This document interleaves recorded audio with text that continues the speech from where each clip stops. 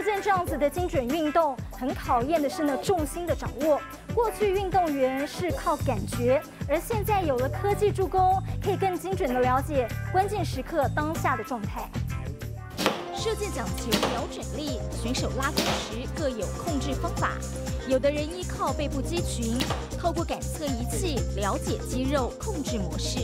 但是背部肌群就有很多块，那它哪一块才是它比较有高风险？就是疲劳会从哪一块肌群先疲劳？去监控它的一个肌群使用的情形，或它会不会产生疲劳的状况？我们可以比喻它是一个呃肌肉的用力程度。对，那如果你越用力，它的它的曲线会越高，每秒可以截取到两千笔，是两千赫兹。这是奥运国手汤志军的感测数据，可以看出他在拉弓过程肌肉肌群的状态。二零一九年的数据，大部分用到三四成力，少部分用到六七成。在加强体能训练后，二零二零年再做监测，数据都下降了，表示控制力越来越好。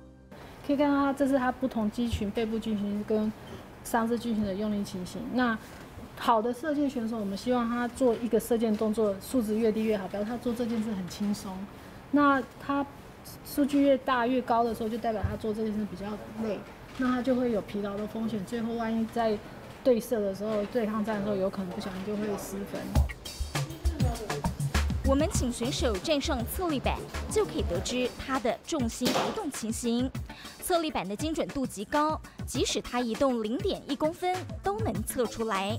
不管射箭射击，厉害的选手稳定性高，瞄准时的重心移动通常低于一公分，甚至低于零点五公分。重心其实是从我们一开始预备好的时候就要放稳，到我们放箭结束。都应该尽量要去维持住我们的重心。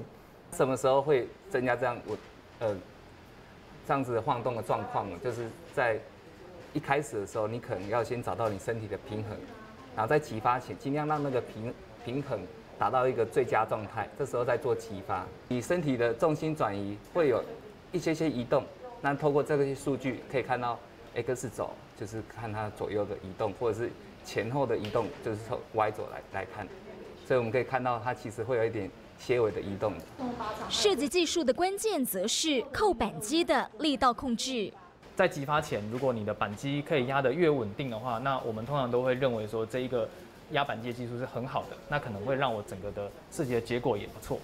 在国体大的力学自动化诊断训练系统，不同颜色的线条显示的是射击时举枪旗、瞄准旗与发射旗不同时间的轨迹。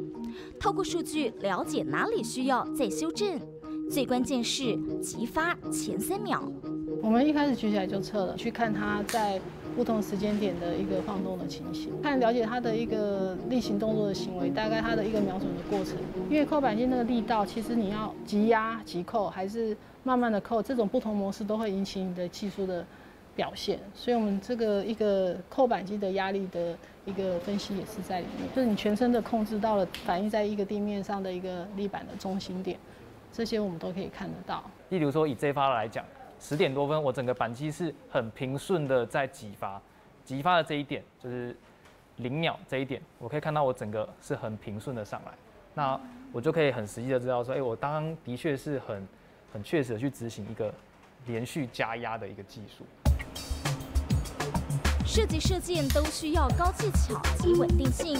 选手、运动员善用科学资讯训练，将自己调整到最佳状态，就能稳扎稳打。